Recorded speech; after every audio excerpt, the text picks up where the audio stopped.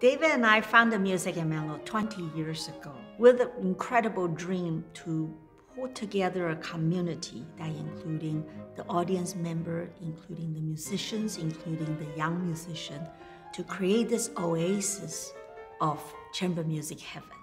The 20th anniversary and the Haydn Festival had a, a nice crossing of the stars, and we couldn't think of a better composer to honor in this, this milestone season than Haydn, who invented so much of the ways in which classical music has been written ever since his time.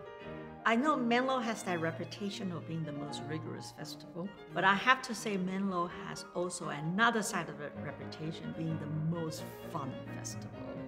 And I have met so many audience told me that they came here tiptoeing on the free concert and they realize, oh my God, there's main concert to go to. And a year later, they say, oh my God, there's lecture series I forgot to go to. We all attend all of the events. So there are the evening concerts, there's also encounters where it's more like a lecture um, and really a learning experience, I, I think even for those of us with doctoral degrees. People will come to the coachings, they'll come to the master classes, they'll come to back-to-back -back concerts and bring picnics. It's so fun to be able to interact with people even those who aren't musicians who are so excited about what we do here and see the value in what we do here. What's so amazing about a festival like this, it's like there's so much information in a short amount of time, but your whole life, you'll be unpacking that information and digesting it.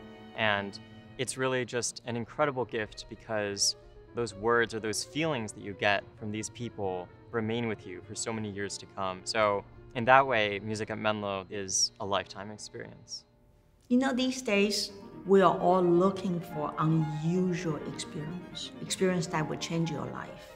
I don't believe any other festival does it in this kind of thematic programming. This is one of the most unusual design. So please come and be involved. And I promise you three weeks later, you will be a different person.